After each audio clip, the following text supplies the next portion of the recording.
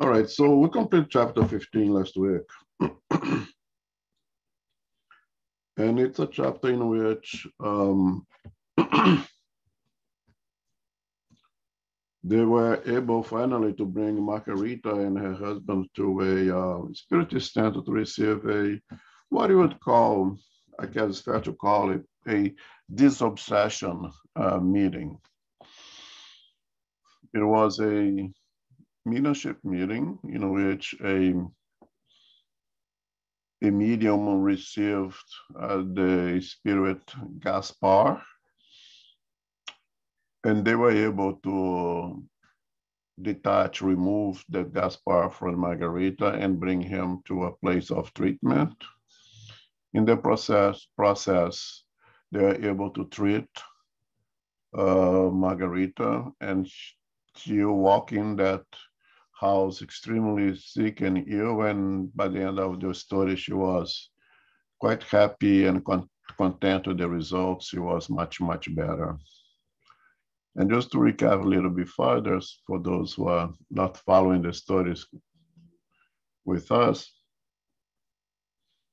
this book, the, the starts with the object, objective of Rescue Gregorio, who is a leader of a very evil faction in the lowest of the lower zone, uh, an ex-pope, has many workers at his hand, causing a lot of disturbance uh, in, the, surface, in the surface of the planet. And one of the victims is Margarita, someone who is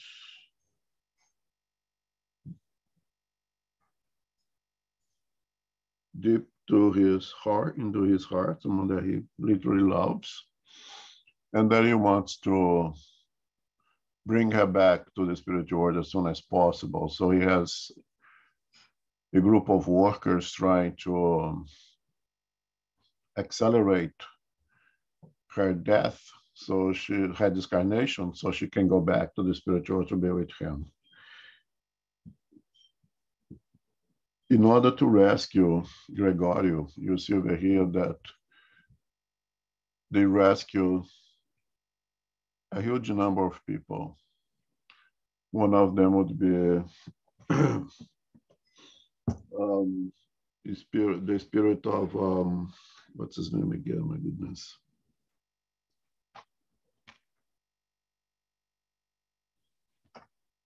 Well, his name gonna come to my mind soon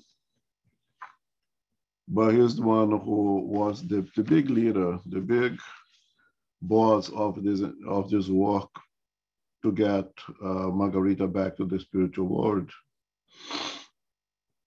And uh, he he had a conflict not with Margarita, but with Margarita's father, who was a judge who condemned his his son to to prison uh, unjustly, being accused of, of a murder that he did not committed. And in order to rescue Gregorius over here, that they go through this process of rescuing, they're rescuing a lot of people in the process, starting with this gentleman, Saldanha, finally got his name here. In order to, to rescue Saldanha, they rescue the son, the daughter-in-law. They rescued the judge.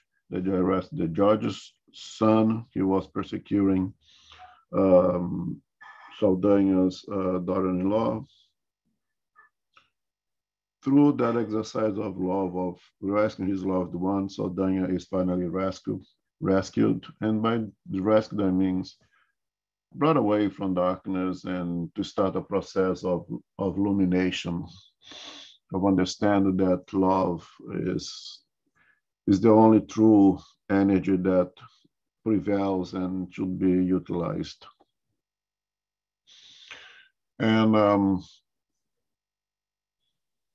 one of the workers in the lower zone that extremely perverse and very attached to Margarita was this Gaspar that could not be reached by the spiritual workers. So, so deep he was uh, in the process of persecuting Margarita, he had no, they had no access to him. So they brought Margarita to these mediumship meetings, and there they rescued not only Margarita, but Gaspar as well.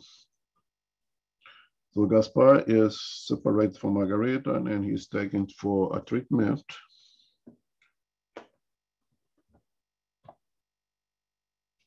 Saldanha warns Gubbio, that is the leader of the enterprise to, to rescue uh, Gregorio, that the, now that Margarita was feeling better, that was not the end of it. That perhaps on the beginning of it, because now the army, so to say, of Gregorius would put up an even stronger attack, trying to reverse everything that is being done in Margarita's uh, help. Gubbio asked Sidonio. Sidonio is the director of in the spiritual world of the spiritual center where Margarita was take, taken for assistance, and Sidonio complies and some extra people to help in Margarita's house. In this chapter now, Pernicious Witchery, we take a break from Margaritas basically, and we're going to concentrate in, in the medium that did the help, the medium that was used for the communication of Gaspar that did not communicate much. We see as last reading that he was such in a state of um, despair, so attached on to Margarita on a mono idea. He was not yet what we would call an ovoid, but was almost moving in that direction, so much so that he could not be helped by the spiritual workers because they could not reach him really. But through the process of uh, mediumship, and that's the value of mediumship, receiving the so-called uh, anemic shock when the spirits enter in contact with more dense flesh, dense matter of the medium, it becomes more accessible. And in a dialogue with uh, incarnate individual in that mediumship meeting, they were able to help him. They were able to detach him from uh, Margarita, take him to be treated. And and then what we're going to see here, him, is more about a medium and the medium that was used in this process of disobsession. And I think I can start reading now unless somebody has a question. Okay, okay chapter 16, pernicious witchery. When the meeting ended, I noticed that the medium, Donna Isaura Silvia, had undergone a perceptible transfiguration. While we were working, she had displayed shiny radiations around her brain, offering a pleasant personal ambient. However, by the time the session was over, she was surrounded by a dark gray fluidic substance, as if around her an invisible light has suddenly been switched off. Astonished, I approached Sidonio, who kindly responded, the poor thing is caught up in a venerable tempest of malignant fluids sent by low order spirits, whom she has inadvertently turned into through the dark wires of jealousy. As long as she is under our direct influence, particularly during spiritual endeavors of a collective nature in which she acts as a receiving valve for the assistance energies, she is happy and in a good mood. A medium is always a source that both gives and receives during his or her work involving the two realms. When Isaura's work ends, however, she falls back into her unfortunate condition. But isn't there anything we can do to help? Of course, it is because we haven't forsaken her that she has not yet succumbed. Even so, in a case like this, We have to be careful not to humiliate or hurt her.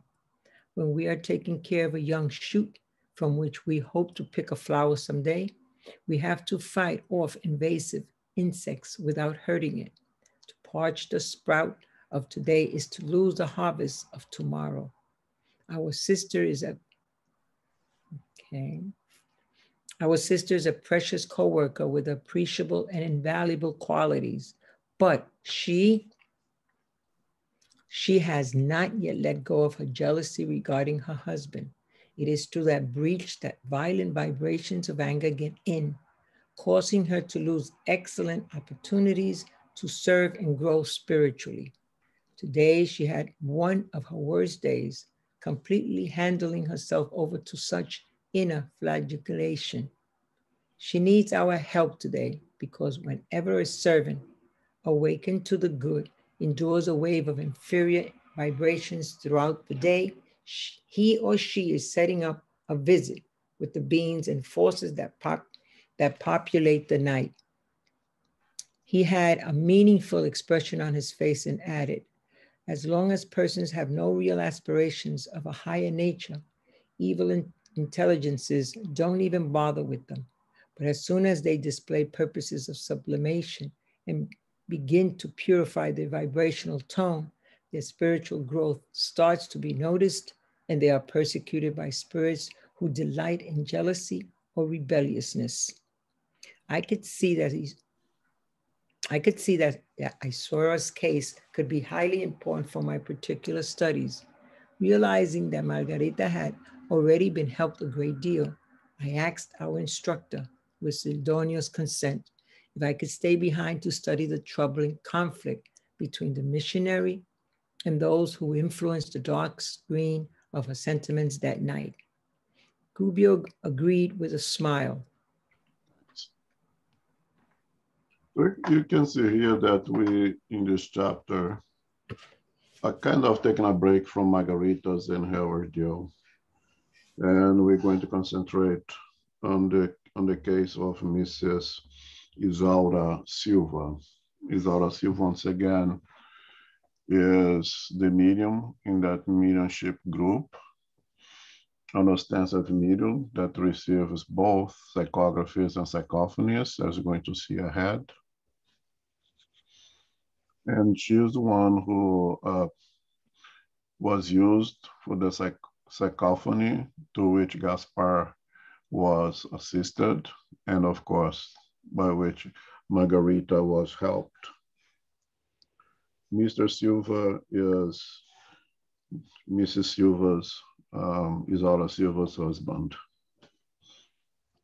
Let's start by saying that this is a woman that is known as spiritist, that is reading the books of codification, that is reading the um, the gospel according to Spiritism, who is receiving enlightened uh, messages from high, higher spirits. But yet, one of us,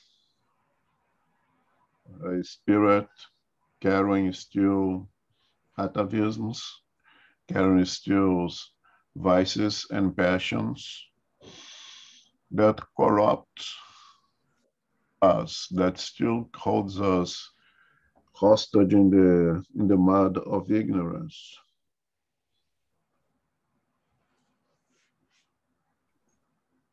Her main problem, as the medium has put over here, is just as, as, as Sidonio has, has told us. And again, Sidonio is the um, the spiritual director of that spirit, spiritist medium meeting. Okay, every spiritist center has a director that commands the spirit, the spiritual worker, and Sidonio is the leader in that spiritist center, and of course knows very well all the members of that meeting, and.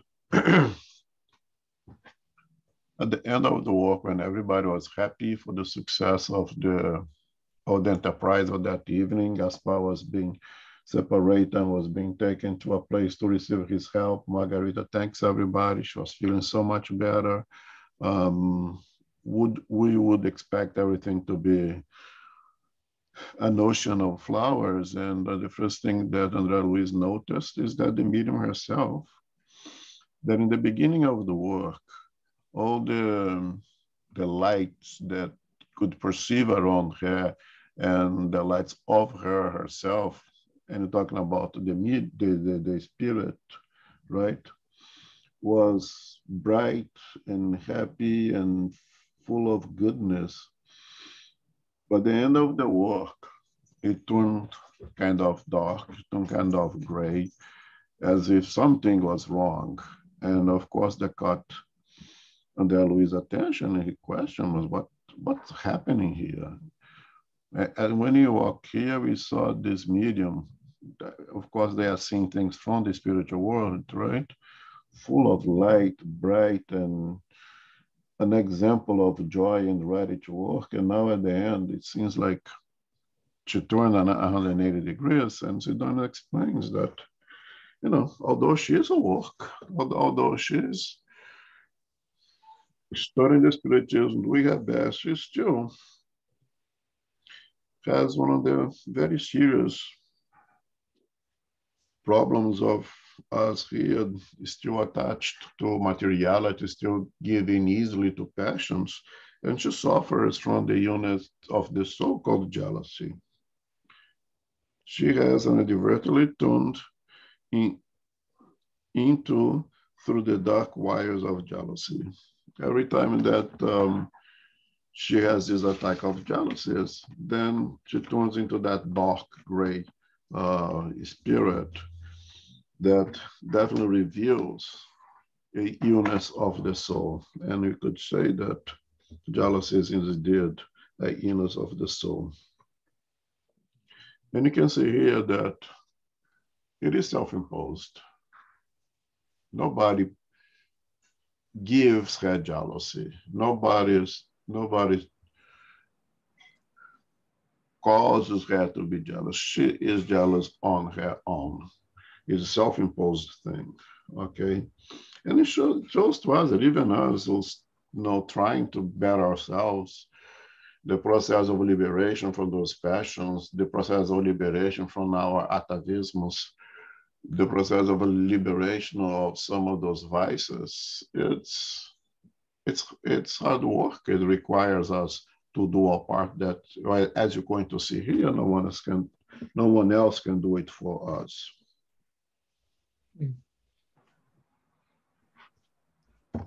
Um, the word transfiguration, for those anyone who's not, not aware, it's a not noticeable,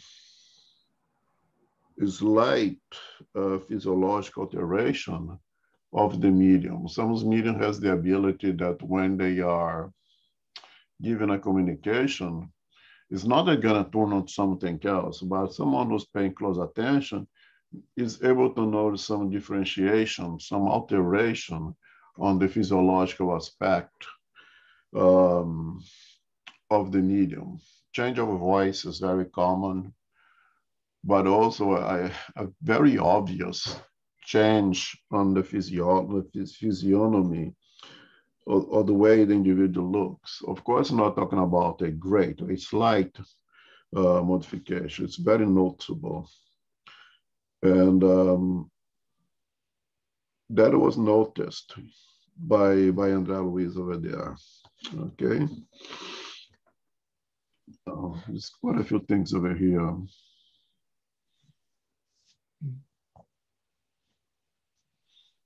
If we do recall the last chapter, when Sidonio was introduced to Andre Luiz by Gubbio, Sidonio spoke of his of his mentorship group and and saying that no, the group is doing a relatively okay work, but it could be so much more productive. They, they could be so much more so much more successful if the incarnated part of the group would cooperate a little bit more, would uh, be uh, a little bit better to work with than what they are.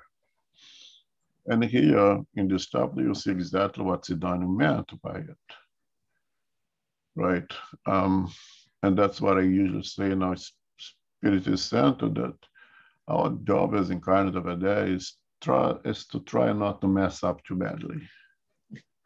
Is do our best not to be such a corrosive part of the work that they do up there that will try to contain our passions, try to contain our vices so we can be better servants and don't disturb them as much.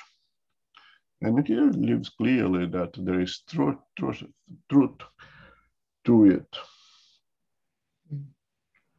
Um, how one thing, one aspect of our passions, of our vices, can be so destructive to, to us as uh, individual spirits in the pathway of better ourselves.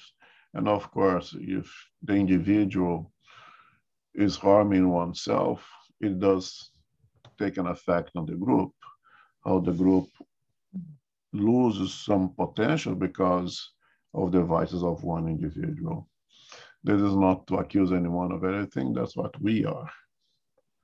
No, I think I think uh, this lady is represents pretty much all of us where we are, where we dry today, where we stand today. It brings again the words uh, inner flagellation to reinforce that again. This is this is her. We cannot accuse anyone anyone to be doing to causing this to her. That's that this is self-inflicted.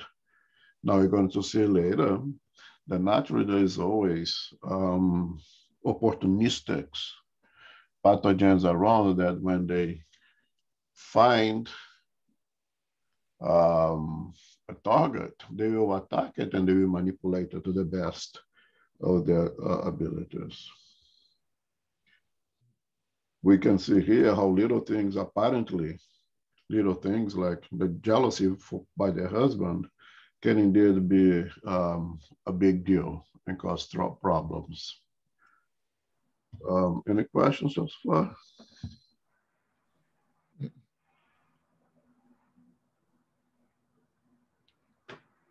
Okay. Uh, go, go back, um, Elmo. Yes you know this this passage that is underlined there as long as persons have no real aspirations of a higher nature evil intelligence don't even bother with them but as soon as they display purposes of sublimation and begin to purify their vibrational tone their spiritual nature uh, spiritual growth starts to be noticed and they are persecuted by spirits who delight in jealousy and rebelliousness. But when i read that i have an image of if you ever had a bucket full of crabs and they're they're fighting amongst themselves but when one tries to reach for the rim and gets the rim and is trying to extricate himself from the bucket another crab from behind grabs him and pulls him down and uh, and i guess that's uh, you know these uh, lower level uh, spirits there they're the other crabs in the bucket. Mm. Uh, I think it's a great, great analogy. Yeah, that's a perfect analogy, I, I believe. So for as long uh, persons have no real aspiration of higher nature, they don't have to bother them. They are doing all their harm to themselves by themselves. I don't need to waste my energy for some with someone who's already doing what, what I'd like them to do, right? So for as long as I keep dig in the hole to to bury my, myself in darkness, nobody needs to wait to to to waste their energy help me out to do that. I can do that by myself. As soon as I start to look away, as you pose so well with the example, try to dig myself out of that hole and seek the light, then there will be those who are still in the dark, who are still taking pleasure of being in the dark, try to hold me back. And there is an example of Margarita's right now, right? For as long as she is doing her own thing, they let her do their own thing. Now that she has joined the Spiritist group, now that she has that husband who is introduced her to the true teachings of Christ and everything else, now she becomes to be bombarded by those who don't want her to move up. Mm-hmm.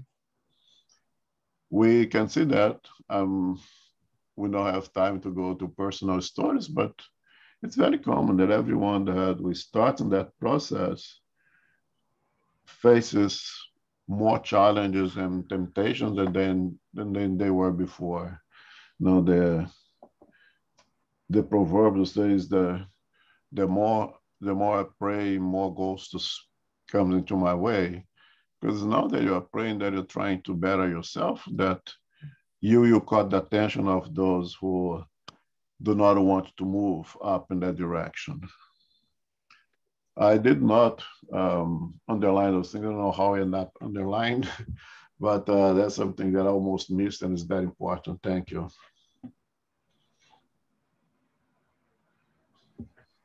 Okay. He would wait for my return the following day. My group left, taking the infinitely happy patient and husband with them. I engaged in a conversation with Sidonio. For the time being, he explained, this house is under our watch care. Even though troublemaking or criminal spirits cannot get in, Isaura, unhinged by jealousy, can go out to meet them. Let's wait for her to leave her physical body during sleep, and you'll see what I mean.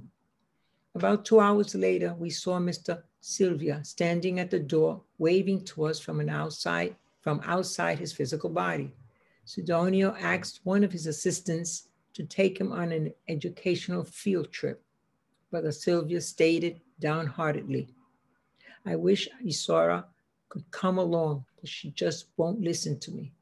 Just let her be. Sidonio replied very emphatically. She's still not ready to heed our lessons. Mr. Sylvia's face displayed profound sadness, but he did not hesitate to go with his guide. I know very short reading, but I think it's important to mention here. In the household, we have um, husband and wife, Mr. Silva and Mr. Silva uh, at the end of the work, night's coming up, time to go to bed and sleep. The phys- physical body is at rest. Something that you always say is uh, where our conscience, where our intentions leads us. Mr. Silva, out of the body, is going to receive lessons, lectures in the high spheres of the spiritual world. Um, is being, being taken by, by a group of spiritual workers to receive lessons, right? Sidoni asked one of us to take him to an educational field trip. He would like to take uh, the, the wife with him, but the wife is not ready. Sidoni says, right, just let her be she is still not ready to hear our lessons. Again, um, things that, and I keep reinforcing that because questions that come very often, but can't we do anything about it? Can we, you know, help? can help as much as you can, but the things that we need to do ourselves, we have to develop the level to, to get that ourselves. It can't take a someone who is in first grade to take lessons um, at college level. You need to mature yourself to get to the level of college uh, lessons. And it seems here that Mr. Silva is a few steps ahead, um, and he cannot take her to the same educational trips and has to respect her free will. We're going to see now where does she go when the body is resting? Okay. Okay. Move up. Yeah. Now, okay. A few minutes later, Donna Isaura appeared outside her body. Her perispirit was extremely dark. She went right by us without paying the least attention to us. She had just one thought on her mind.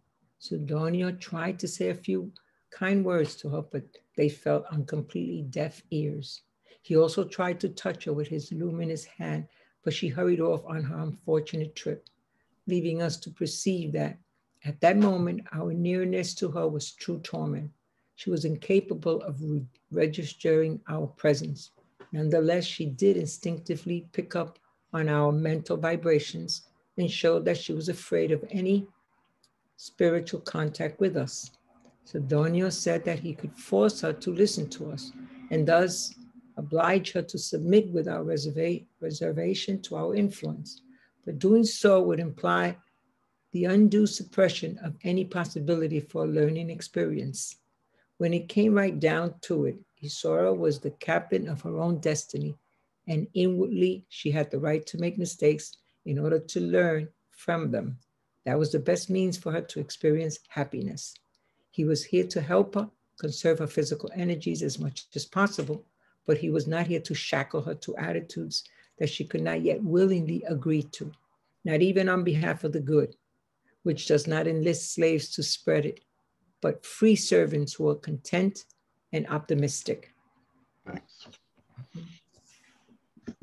So while Mr. Silva goes to receive educational go to for education trips in the spiritual world.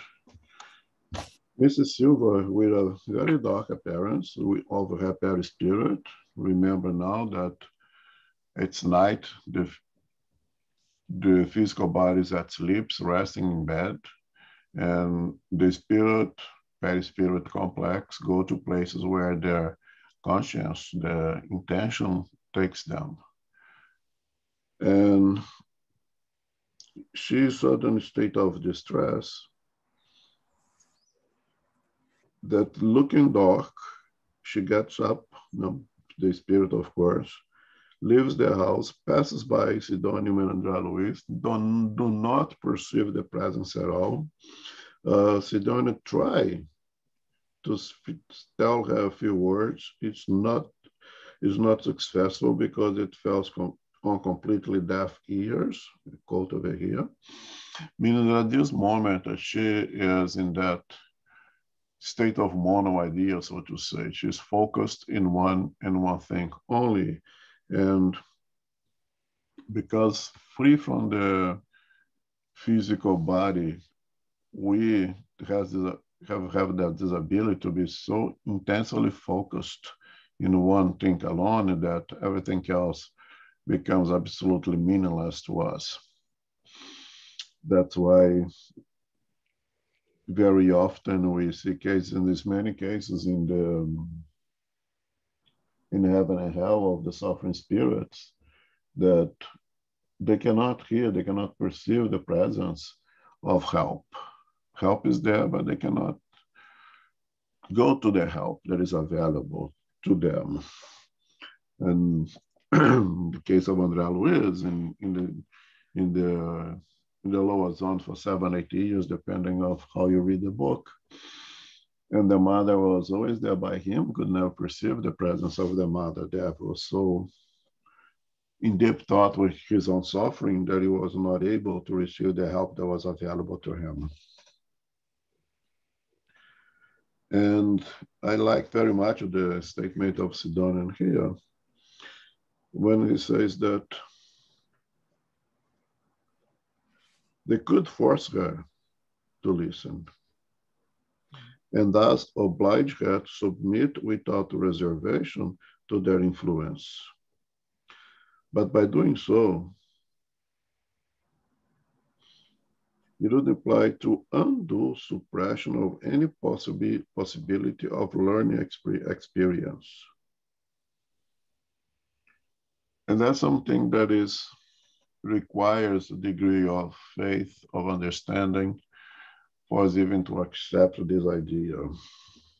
When it, when come right down to it, Isaura was the captain of her own destiny.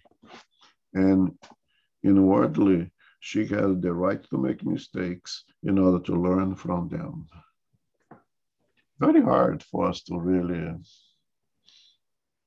even if intellectually with the brain we absolutely agree, see what it is, to comply to that, to assimilate that intellect, intellectual understanding and make good sense of it with the intelligence of the heart. When it comes to the, our emotions, it's very hard for us to do it, right?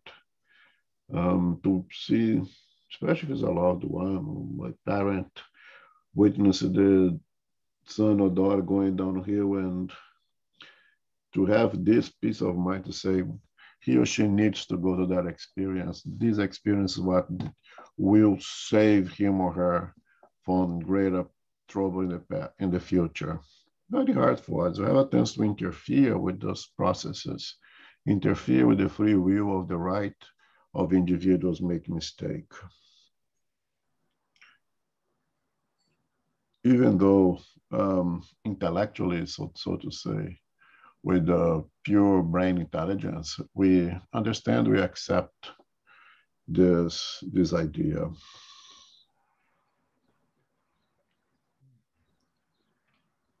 Uh, any questions, comment here? No. Let's go. Okay. To my great surprise, Sidonio explained that Dona Isaura did in fact have a wonderful ability for serving others. But if she wanted to lose it for a while, we could do nothing but hand, hand her over to the current of her own will until she herself could awaken on a higher plane of understanding. She knew good and well that her husband was not her exclusive property and that insane jealousy could only lead her to a perilous spiritual situation. She also knew that the master exhorted his followers to forgive and love so that others who were unhappy would not fall into the abysses alongside the road. Nevertheless, if it was her will to linger on the pathway that was contrary to the one that the higher plane had laid out for her, we could only leave her circumscribed to the circles of a downcast or desperate mind so that time could teach her to reform herself. After these patient explanations, Sidonio concluded with a melancholic smile. Education cannot be imposed. Each spirit has to decide whether to grow spiritually or fall deplorably. We followed Dona Isaura as she left the house and went out onto the public street. She quickened her step until she came to an old, dilapidated, and dark house. Inside were two discarnate evildoers, cunning enemies of the service of spiritual liberation to which she had become a dev- devoted servant. It was obvious that they were hoping to poison her thoughts. They approached her gently, unaware of our presence. Well, well, Dona Isaura, said one of the impostors in a deceitful voice of compassion. Your feelings as a woman have received a serious blow, haven't they? Ah, my friend, she exclaimed, obviously happy at having found someone who could em- emphasize, empathize with her imaginary and childish suffering. So you two know what I'm going, going through. Of course I do. I'm one of the spirits who are watching over you, and I know that your husband has been your heartless tormentor.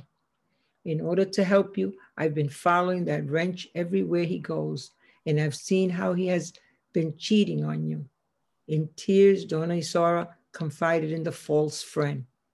Yes, she grieved. You're so right. I'm suffering like crazy. There's no one in the whole world who's most miserable than me. Thanks. Okay.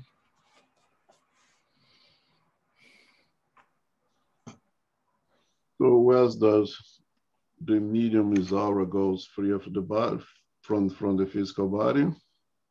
She goes right at this house where there are two suffering spirits, two spirits still being the crabs that tries to hold us back when we try to move in the right direction, tries to hold us in darkness when we try to move towards the light. As Ron always says, misery loves company.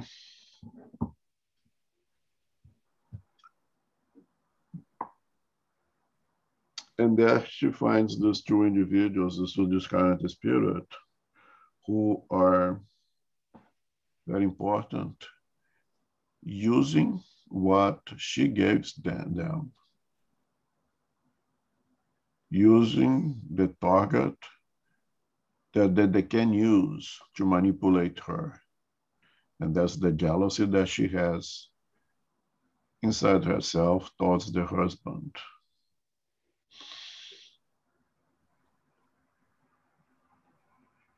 Once they have this target, they will use it as a means to reach her and will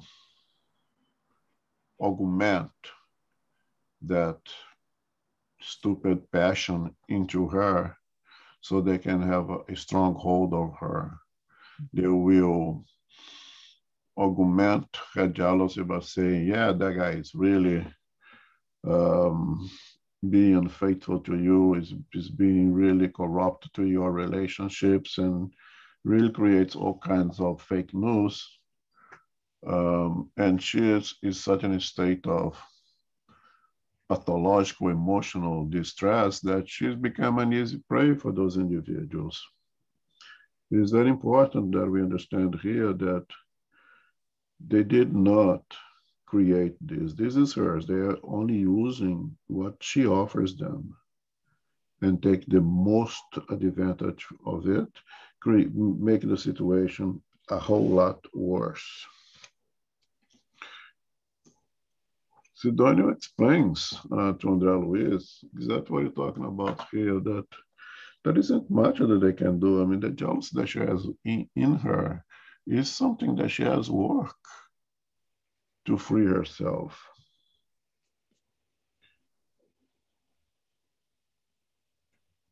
She has this tremendous, wonderful ability of serving others but she's not being able to to to serve herself, to help her, her herself. Does she merit? She, does she has merit for doing what she's doing to others? Of course she does. And in the very beginning of here, as Sidonio said, well, she is where she is right now because of our help because if she was not doing what she's doing that brings us towards her to help her, she'd be in, in a, even in a much worse shape, right? And very important. Nevertheless, if it was her will to linger on the pathway that you that that, that was contrary to one of the, the higher planes, it's her will, it's her desire. And go back to question 911 when the Kardec asked the spirits, why is it so hard for us to free ourselves from our bad habits, from our passions? And the spirit's answer is, it's not hard at all. It, we are amazed of how difficult you guys make it. So what is the problem then? The problem is the will we have to change the will. When we have the when we change the will, then it becomes very easy. It's very hard to quit smoking for as long as you don't really truly wants to quit smoke. When you truly wants to quit smoke, you quit. It's extremely hard for us to look deep into ourselves and admit that, well, I have those passions and I don't have the willpower to to want to get free of it. In many cases in Elvis books, we see that in our leadership meetings, spirits come and say that they they want to do something, and when deep in the conversation, and you find out they know they don't really want it. They would like to want it, and that's a different story. I'd like to really want to stop smoking. But something that hold them back. So what's holding me back? It's myself. That established relationship with cigarettes that I had now that makes me like to, to to smoke cigarettes. Although I know that it's bad for me, although I know there's probably going to kill me, I would love to free from this vice, but I'm too attached to it. I, in the, at the end, I don't want to lose it. But once, once we modify the willpower, modify our real want, then and and we as you know associate the want with the need, things are not that difficult at all. And now and now she's suffering exactly this, this thing. She cannot redirect her will to free herself from that jealousy. And for as long as she's doing that, receiving the help that she's receiving from those spirits to keep her in darkness, it becomes extremely difficult for have to do anything.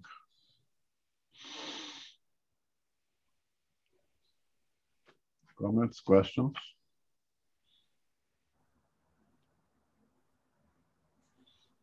And we see here how those spirits are of smart, how they really target that passion that published and how they augmented, how they support her in wrong, and how they make her believe that she is right, everything she's feeling, actually has a true reason for being.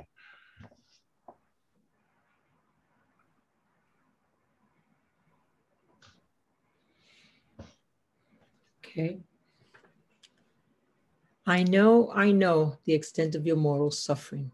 I've seen the sacrifices you've been making, and I know that your husband prays at those spiritist meetings merely to cover up his sins. A lot of times while he's praying, his mind is full of lascivious thoughts about the women who frequent his home. Enveloping the careless medium in his smooth talk, he remarked, That's just crazy.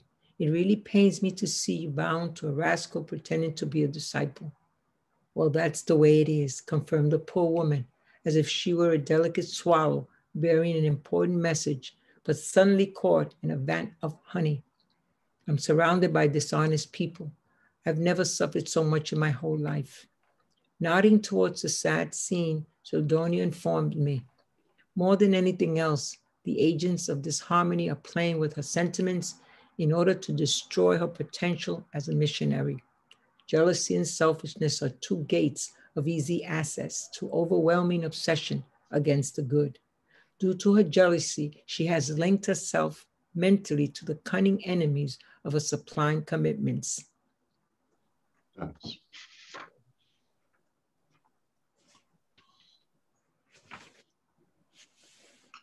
We see we see two two things here. How, as I already said, how they are able to make her just fight to herself her jealousy, creating all these fantasies of her, of the husband's uh, infidelity, accusing this, the husband of bringing uh, a woman into their home. Their home was a spiritist center with this pretend, pretending to be uh, a work of, of spiritism or spiritualism, and, and in fact was only to bring the woman to their to their home, creating all these fantasies to which becomes real in her mind because she is tormented by his jealousy, by this jealousy. Another thing that you see here is how she appreciates the feeling of being pampered by those individuals. As another thing that is, is self-inflicted, that she's causing to herself, that she kind of appreci appreciates that these individuals support her, give her even more fuel for her to have this passion, this jealousy. She almost takes pleasure of of people tapping her back. Oh, poor you, you're suffering so much. Oh, you you don't deserve all that, and that kind of self-destructive behavior. People who stays in this process of lamentation and the more you support their, their suffering, the more they enjoy being supported by the suffering, which makes it hard for them to, to elevate themselves, to get up, to stand up and start to act. That's one of the things that we see often in our spiritist meeting as well, when we have to tell a spirit, oh, shut up, stop this lamentation, get up and do something if you want to better yourself. As long as you sit on the corner into this deep state of lamentation, suffering, nothing of good happens. So you have to get up and start walking to gain some momentum. And at this point, they, they the spirits start want exactly the opposite. They want to hold her to have no momentum of moving forward. And if she takes pleasure of being miserable, as they are doing to her now, she will never try to get up and move on. The agents of disharmony are playing with her sentiments in order to destroy her potential as a missionary. Remember that this woman is, is extensive medium. She's working a leadership meeting. She's doing she's doing work even with her problems. She's doing still doing good work, helping others. So in in in a way, she has a mission, a small mission. You know, her potential as a missionary, doing so, doing something good, and those individuals don't want not only her to do something good, they don't want to see good at all. Jealous, jealousy and selfishness are two gates of easy access to the overwhelming obsession against the good. As I have said, they find those targets. Jealousy, selfishness, they all derive, definitely jealousy derives from pride. The prideful person has a tendency of being jealous. A humble person would not have the tendency of being jealous. Jealousy is a problem of uh, low self-esteem. Jealousy is a problem of um, a guilt mind that had being dishonest, being unfaithful themselves, then now they recognize if I have been unfaithful, my partner could just as well being unfaithful and ever tends to be more jealous, those individuals, being at the conscious or the unconscious level. Again, those everything has a genesis. So jealousy has a genesis, also has in, in pride, in very low self-esteem, in a guilt conscience,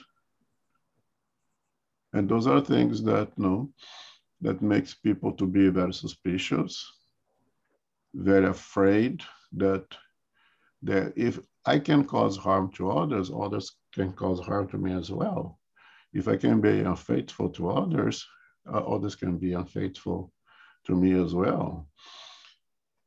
If the partner that I have today is someone who was being unfaithful to have partner in the past and with me, why could that partner do the same thing and now be unfaithful with me with others? So there is a, a,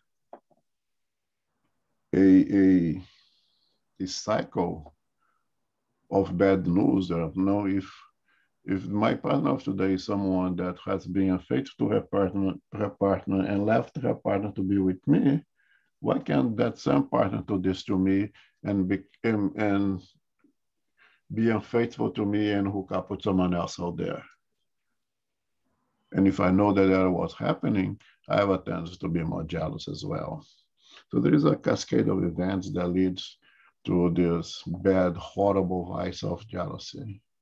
Someone who has that potential of jealousy should really revisit his her own conscience and go deep inside what leads me to this and and fix it so they can get rid rid of this very dark um, passion that is a target for evil doer spirits. Comments, questions?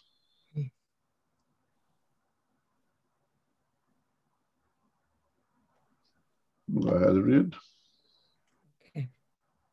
Displaying immense sadness, he added, Just watch. The cunning obsess- obsessor embraced Isaura and continued, Dona Isaura, you have to believe that we are your loyal friends and true protectors of those who, like us, know of your hidden suffering. It's just not right for you to have to put up the deceitfulness of an unfaithful husband. Stop putting up with his reunion of hypocritical friends. They may seem to love group prayer meetings, but they are just useless clowns. It's dangerous for you to, to be involved in mediumship in the company of that kind of people. Be really careful. The careless medium's eyes opened wide in response to the strange inflection of what she heard. Then she responded, Kind and generous spirit, you know how I have been suffering in silence? Please tell me what I should do. Bend down, destroying the illuminative cell that was functioning with immense advantage in the home of the young woman besieged by his sugar coated, poisonous arguments, the spirit remarked maliciously, Madam, you just weren't born for the circus. Don't let your home become a showing a show ring. Your husband and his social acquaintances are exaggerating your faculties. You still need a lot more time to develop yourself sufficiently. In enveloping her in the thick veil of doubt that annuls so many well-intentioned workers, he added, have you ever thought about unconscious deceit? I mean, you can be sure that you're not actually deceiving people. You really have to be careful. If you study the serious matter of spiritism intelligently and correctly, you will see that the messages that you have psychographed in your incorporations of supported, supposedly benevolent spirits are nothing more than the pale influences of troubled spirits. In a large percentage are merely the products of your own brain and your sensibility stirred up by the misguided demands of the people who frequent your house. Haven't you noticed that you are fully, fully conscious during those so-called communications? Don't believe in abilities that you don't really have. Try to maintain the dignity of your home because your husband has no other purpose in mind but to exploit your excessive gullibility and send you down the sad road of ridicule. The poor woman, so naive and yet so useful, registered that slant on the matter with visible horror. Flabbergasted by Sidonio's passivity before such an insult, assault, I asked him respectfully, but far from calmly, don't you think we should come to her rescue? Sidonio, Thanks. okay. Stop there. In this passage over here, as relates to these three, three spirits, we get to the truth of the matter of what is the intention of those two uh, this kind of spirits towards this woman, towards this spirit. They don't really care about her. Mm. They don't have anything really personal towards her. Their aim is really to attack spirituals, the work of spirituals right here is to take her away from the good work of assistant order that she is doing, even with all, all of her problems, just like ourselves. Here we see the truth of the matter on how they uh, attack and say all this nonsense of the of this uh, those teachings of spiritism that your husband is bringing these people home. It's so um, fictional, and it's and it, and it's there's no truth in it. And even own mediumship, to see how they they really pray and they shake her belief and they shake her faith, since that what is the statement? Is don't you uh, of uh, unconscious deceit? Mean that they make that the husband and his group is making her believe that she is actually a medium that she's not a medium at all. That all those um, messages that she's receiving is creation of her own head Uh, she's doing all that herself. There is no Holy Spirit dictating all of those messages to her that every, all those psychophonies, it's creation of her own mind. And she's in such a state of distress. She has given herself to those spirits because they support her suffering and endorse her suffering that they now that she's now completely giving into them that she start to believe in everything that they say. And in reality what they are really doing here is not trying to help or to hurt her. They're trying to try just just try to undo the work that is being done in that spiritual center that's one thing that you very often we say once we place ourselves, one, moving towards the light, we will have those who try to hold us back. It's inevitable. It's part of the temptations that are here for us to overcome, because if there was no temptation to overcome, then we would not um, really progress because there is no challenge you know, again, it's the is the um, apple in the in the Mosaic Genesis, right? In order for us to grow, God has to provide challenges to us. So God says, you can eat anything here, but don't eat from that tree. It's not even fair, right? When somebody says that, that's the one that you want to look for it. so we face challenges as part of our maturation of growing up.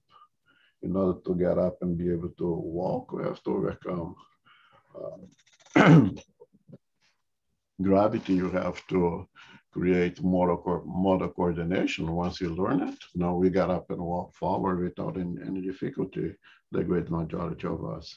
But at one point, it was a challenge. And we see here how really smart those spirits are. They use her passion, they use her vice to attack the whole doctrine, to attack the, to attack the whole work of, of, of mediumship to the point to make her not believing on her own poten- potential as a good worker. And then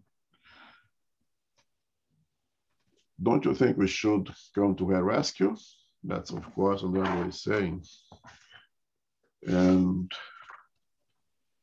I don't, I don't think any one of us think the same way here. Say, wait a minute, are we seeing this and not doing anything? Come on, Sidonio, you're, you're supposedly a, uh, a superior spirit. Are you going to just watch this with your hand crosses? I don't know about you, but it's I'll be I'm right now just like Andre Luiz. What do you mean? Can, can we do something over here?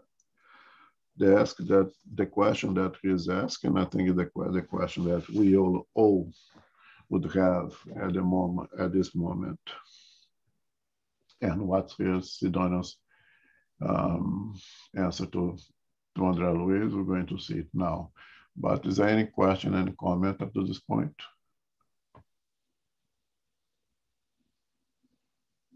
All right, so let's read.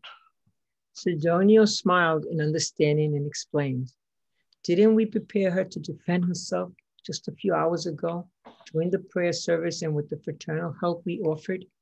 She worked as a medium with us. She listened to a wonderful, moving gospel talk regarding the perils of selfishness.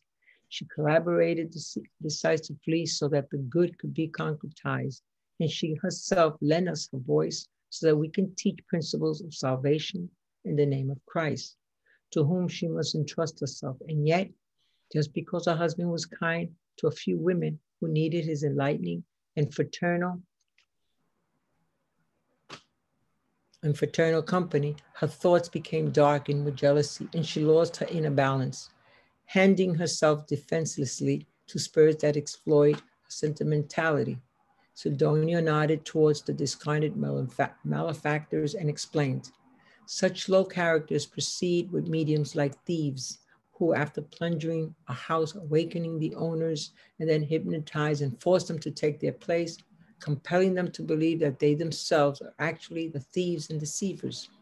They approach the minds of careless mediums, wreak havoc on their inner harmony, upset their tranquility, and then with imperceptible and subtle sarcasm, they force them to believe that they are deluded and despicable.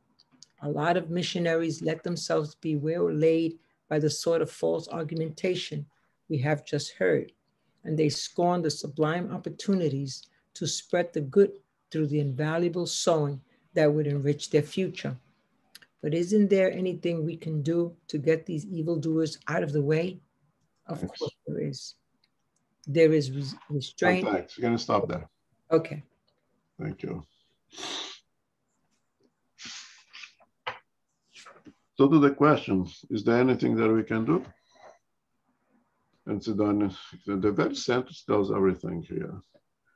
Sidonio's is saying, didn't, didn't we prepare her to defend herself just a few hours ago during the prayer service and, and, and with the fraternal help we offered? She worked as a meeting with us. She listened to a wonderful, moving gospel talk regarding the perils of selfishness. She collaborated decidedly so that the good could be con con concretized. And she herself lent us her voice so that we could uh, teach principles of salvation in the name of Christ. So,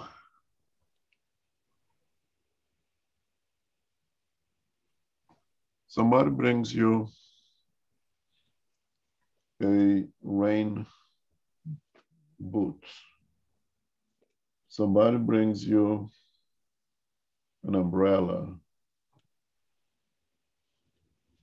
What is that person telling you? It's common sense to say, well, it's going to rain. If you choose to leave the house without the umbrella, if you choose to leave the house without the rain boots or the raincoat, is there a good chance that you're going to get yourself soaked? Who do you have to blame? Who is in fault?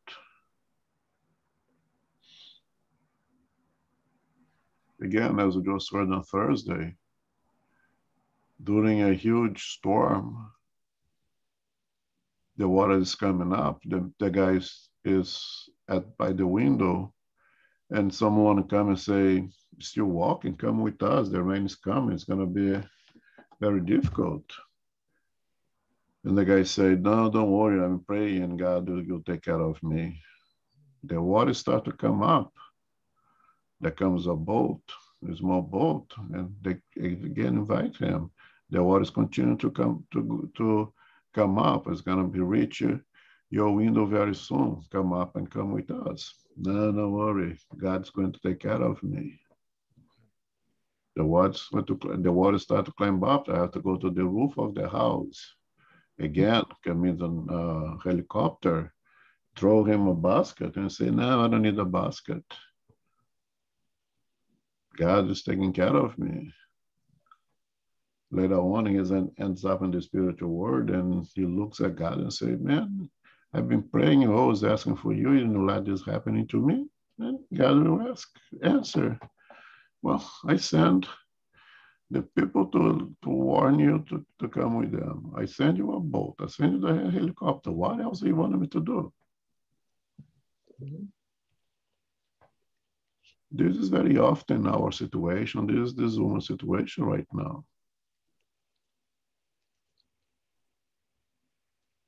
When um, Divaldo Pereira Franco complained to Joana de Angelis that Joana de Angelis was giving advices and helping everyone, but not him, what was the answer? Open this book and read. And the book says, you, you, you. Hold another book. It says, you, you, you. To whom you thinking I'm talking to? Talking to you. Now you follow if you want. This, this is her case, and it's our case very often. Again, this one pretty much represents us. Each one of us with our difficulties. Our main problem is jealousy. Each one of us have ours. Mm-hmm. The help is there. And the help is, is, is in preparation for the challenge already. The help is giving the umbrella, the rain boot, the raincoat before you leave the house. Once you leave the house without it and it rains, now you're going to get wet. Mm. And that's exactly uh, the case of this woman. Yes. Such low uh, characters proceed with mediums like thieves. This is specific for mediums. Of course, mediums is at uh, perhaps a little bit at a higher risk for having a more ostensive ability to interact with the physical, with the spiritual world. But remember that we are all mediums. We can all interact with the spiritual world we, we are all being targeted in accordance to our passions, in accordance to our vices. You don't need to be an ostensive medium.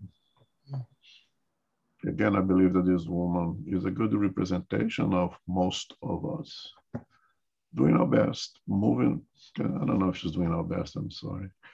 But going through the mode, move, going to spiritual centers, listening to the lessons, trying to learn the things, and still the will is not there to make true great modifications or very minimum modification that it could do a lot more.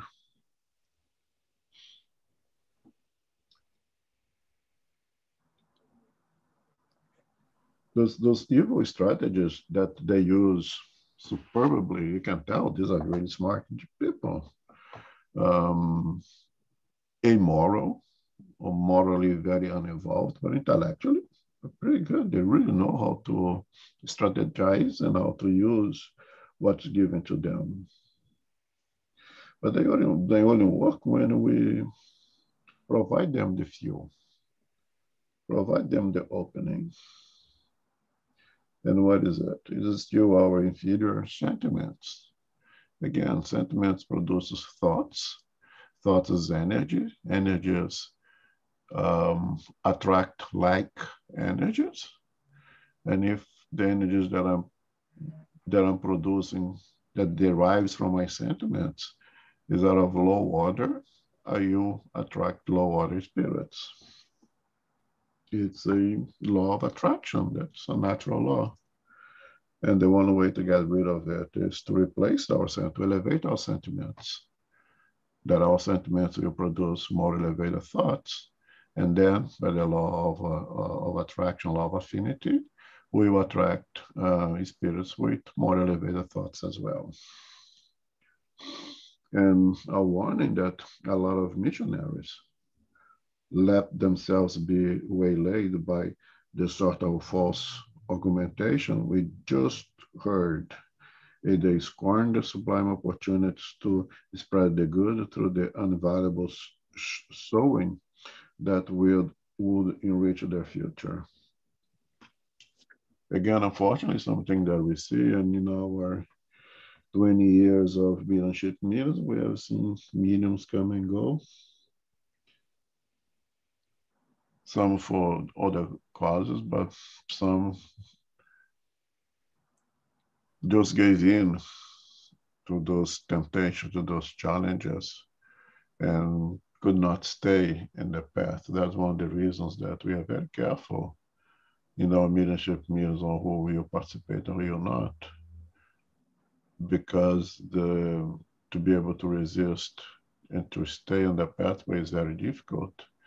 And unfortunately, when they come to the medium meetings as a medium and they leave the meeting, they leave the whole thing. They leave the whole spiritual. They leave the whole group, and um, we think it's much better to continue the studies, continue with the books of codification, than participate in leadership meetings, Mediumship means just a small percentage of the good news that you can get. If one can just read the gospel, it's 10,000 times better than participating in mediumship meetings.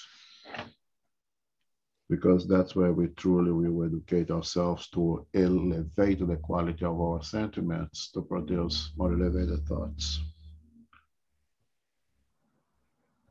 And again, Andre Luiz, here through all of that, the explanation from Sidonio say, well, look what he already done for in order to help. But he's not happy with that again. But isn't there anything that I can do to get these evil evildoers out of the way? And again, I think it's a question that we are all asking, right? At least I'll let. So even if it's her doing it, even if she's the one who attracts those individuals to her with her low vibrational level, can't we get those people away from her? Can we get those people away from her? I think it's um, the way pretty much that we think. And let's see what he does answer. Okay. But isn't there anything we can do to get these evildoers out of the way? Of course, there is. There is a restraint and panacea everywhere, trying to fix situations by means of violence or artful diplomacy. But regarding our endeavors, which would work better, shooing away the flies or healing the wound, he smiled enigmatically and said, then said, such difficulties are valuable lessons that amongst incarnates and discarnates, the medium spirit must take advantage of as invaluable experiences. It is not our job to withhold the lesson from the pupil.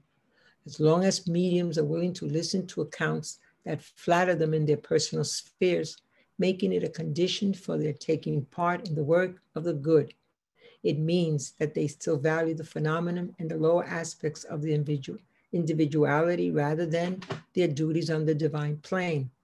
In such a situation, they linger for a long time amongst idle discarnates who fight over the same prey, and consequently, they nullify priceless opportunity to grow spiritually. Because after a certain amount of time in which they refuse help, they temporarily lose the edifying company of more highly evolved friends who futilely do everything they can they can to put them on the straight and narrow path again. Subsequently, they fall vibration. They fall vibration wise to the moral level appropriate for such a situation and cohabit that with spirits whose company they prefer, only to wake up later and realize they have wasted precious time. Meanwhile, Dona Isaura's obsessor was prattling on just study your own case. Talk to competitive, competent scientists. Read the latest news on psychoanalysis and don't waste the opportunity to live like you used to. Otherwise, you can go crazy. And he went on to say sacrilegiously, I'm speaking to you in the name of a higher realms and as a faithful friend. Yes, I can see that, agreed the timid and downcast Isaura. Just then, Sidonio approached the trio and made himself visible to the hypnotized Dona Isaura. She registered his presence and with some difficulty and exclaimed, I can see you, Sidonio, our faithful spirit friend. Due to his low emotional pattern, the verbose obsessor was unable to perceive our presence. So he said mockingly, Oh, come now. You can't see anything. It's pure illusion. Give up this mental vice or suffer even greater imbalance. Sidonio returned somewhat discouraged and told me, from the very moment that Isaura got evolved, involved in the dark realm of jealousy, her mind has been a difficult situation. And she is in no condition to understand what I tell you. Even so, maybe we can take a different approach to helping her. We volitated speedingly and found the medium's husband in an instructive meeting with several spirit friends. Sidonio told Mr. Silva to return to his physical body immediately in order to help his wife, who was in dire straits. Brother Silva did not hesitate. He rushed back to their bedroom and re-entered his body. Beside him, his wife's body was switching in repeated contortion, contortions, gripped by her unspeakable nightmare. Under Sidonio's kindly influence, he began waking her up by nudging her gently. In corporeous tears, Isaura opened her fear-filled eyes. Oh, I'm so miserable. I'm alone, all alone. Deeply influencing the complacent and kindly husband, Sidonio urged him to say something. My dear, remember our faith and how much we have received from our beloved spirit guides. Oh, don't you give me that nonsense, she retorted angrily. What do you mean? He repeated patiently. Haven't we been helped a lot, a lot through your own mediumship? No, not at all. It's all a farce. Those messages are just the fruit of my own imagination, all an expression of myself. Listen, Isaura, you've never you've never been a liar. I can see you falling into the trap of our unfortunate brothers, and they're leading you into a purgatory of jealousy. But Jesus will help us set things right again, right again. At this point, Sidonio turned to me to say, Andre, I think you have witnessed the point of the lesson. This is going to be a long, drawn out conversation. The miraculous concourse of time, we will pacify this respectful, respectable workers' exclusivist and careless mind. Go back to your work group and remember what you have learned here today. Profoundly touched by what I have said, I thank Sidonio and left.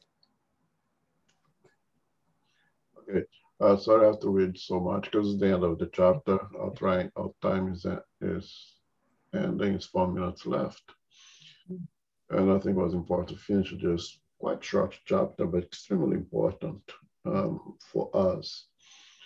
If we have the humbleness and the probably smartness of seeing this woman, some of the problems that we have ourselves, you know, uh, attempt to better ourselves, and we are. Again, there is no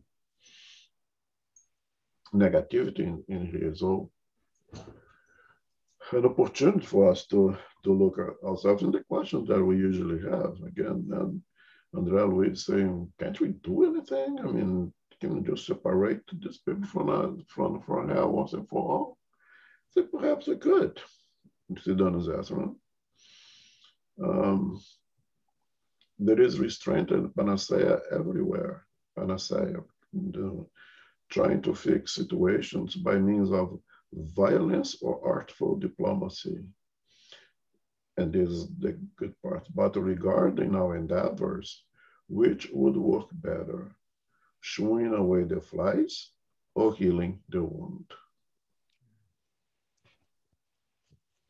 we are eternal spirits in the pathway in the pathway of perfecting ourselves.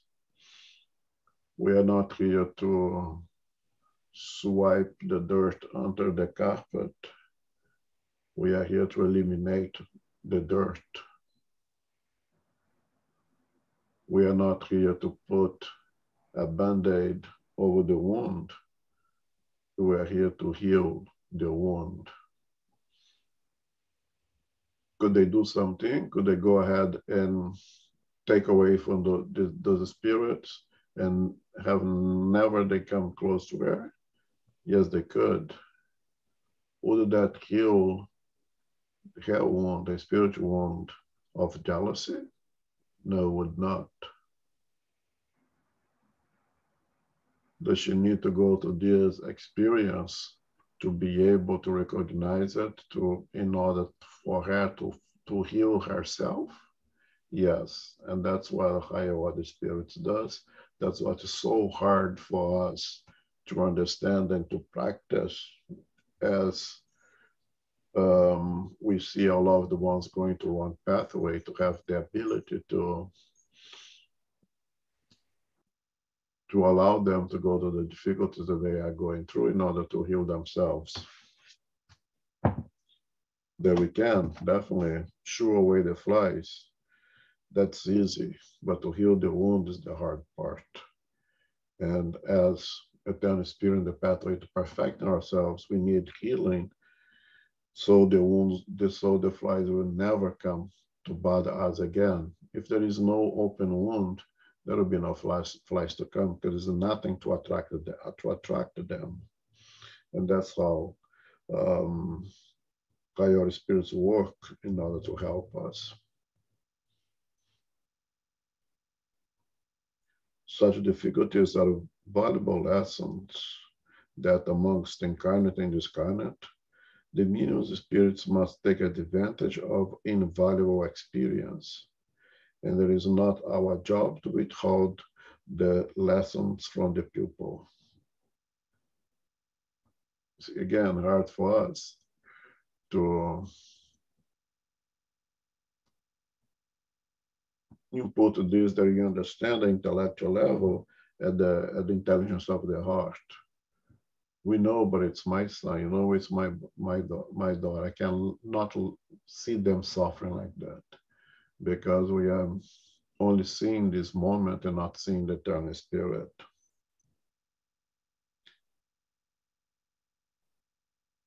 And we see how clever the um, those um, evildoer spirits when they say, I am speaking to you in name, in name of the higher realms as a faithful friend. So to leading, leading her to no longer believe in, in the work that she's doing, serving others, saying that they know better because they are speaking in the name of the higher realms and she's so on the take that she seeks to listen to them. Now, Sidonio has another alternative to stop them. She try, he tries himself. She presents herself to her, and she is able to notice him, but they are do not, which leads to believe that with her help, with the help that she's receiving, with the work she's doing, she's already a little bit higher morally than those spirits, which is easy for us to see. So much so that she can perceive her presence when he presents uh, herself, but the others still cannot. But her mind is so corrupted by their influence that they tell her, nah, it's so an illusion. He's not, he's not here. You don't have none of this, that, that power. And she chooses to believe him, to believe them. Sidonio has one more strategy. He calls the husband and remember that they are the physical body both sleeping. The, the husband is able to take her back to the physical body, wake her, her up. And upon waking up, he tries to speak with her, saying the work that they do and how wonderful it is, that what they learn from this doctrine. And she says, no, it's all an illusion, it's all lies. Because the influence that she received from those from those for those true spirits. And um, he continues to speak with her, and at that point, Sidonio say, Andre, always go back to your work with Margarita. This is a working process that um, will take a long time to be resolved. But I think again, and always bring this message to us, this chapter to us, is to show to us how hard it is, especially mediums being more likely to, to receive influence from the spiritual world. But again, we are all mediums. How we need really to do our best effort to internalize to learn all the lessons from the gospel, take from the intelligence of the brain, intellect, and put in the intelligence of the heart.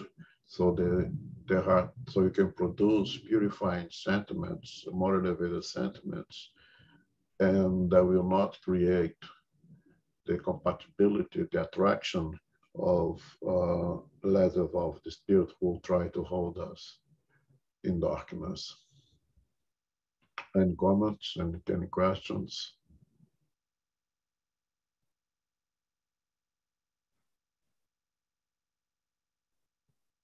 All right, thank you everyone. So Carol, can I make a final prayer, please? Yes, certainly. Thank you very much, Elmo and Sarita and everyone for participating. Infinite Creator and Supreme Intelligence, we give thanks for the opportunity to be together today as brothers and sisters for the study of the book Liberation, chapter 16. We give thanks for a better understanding of the compassionate and strategic work of high order spirits. They're helping with the interaction and magnetic forces, fraternal healing, for helping suffering discarnate spirits. Wisdom, goodness, love, and focused will can be a catalyst for healing and change. We have, we have witnessed this through our studies. We try to keep our energy balanced and positive with faith and courage. We are grateful to our spiritual benefactors and the good spirits who are guiding us and inspiring us. May we receive the, the peace, love, and light of Christ within us so that we may share with others who are in need who need our prayers and also our positive vibrations. We remember that charity is love in action, which means it's proactive. We humbly ask for safety and protection for our family members, for all Spiritist centers, and for those who need our prayers globally. And many prayers are needed. Spread fraternal love as we close our meeting now, we remind ourselves to go forth as beacons of light and love. Go forth now in peace, gratitude, unity, and positive vibration.